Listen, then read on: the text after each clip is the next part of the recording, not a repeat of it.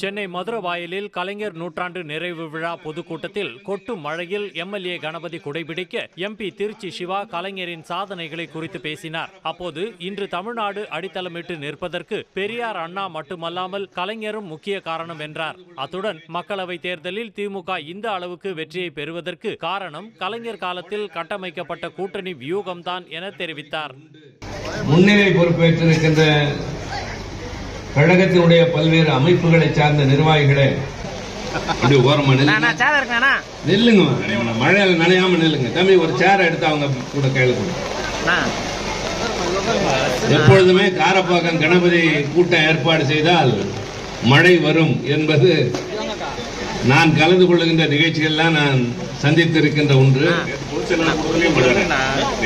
நேற்றைக்கு கழகத்தின் பொதுச் செயலாளர் அவர்கள் இதே போல கலந்து கொண்ட கூட்டத்திலும் மழை என்றார்கள். இன்றைக்கும் மழை கோடை காலத்திலே மழையை வரவழைக்கின்ற ஆற்றல் கணபதிக்கு உண்டு என்கின்ற வகையில் இந்த பகுதி மக்கள் அவர் மக்களுக்கு தொண்டாற்றுவதோடு இயற்கையோடு இயைந்து மக்களுக்கு நன்மை செய்கின்ற கடுங்கோடையின் வெப்பத்தை தணிக்கின்ற இந்த மழையை ஒரு வகையில் நாம் வரவேற்கிறோம்.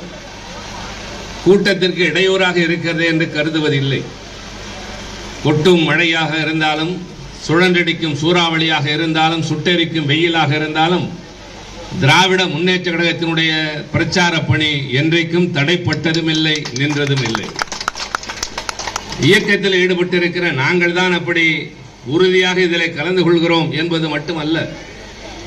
கூட்டங்களை கேட்க வருகின்ற பெரியோர்கள் தாய்மார்கள் கூட மழையை கண்டு உடனே கலைந்து சிதறி பேசலாம். நிறைய பேசலாம். நான் இன்னொரு முறை வந்து இங்க அவசியம் பேச வேண்டும். மழை இல்லாத நேரத்தில்.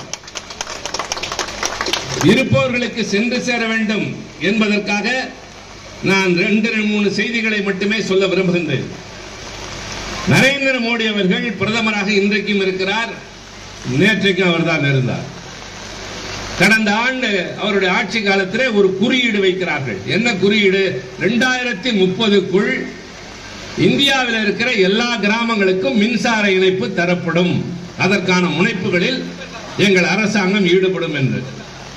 நான் பேசுகிற போது சொன்னேன் நாடாளுமன்றத்தில் ஐயா நீங்கள் ரெண்டாயிரத்தி முப்பதில் எல்லா கிராமங்களுக்கும் மின்சார வசதி கொண்டு வருவேன் என்கிறீர்கள்.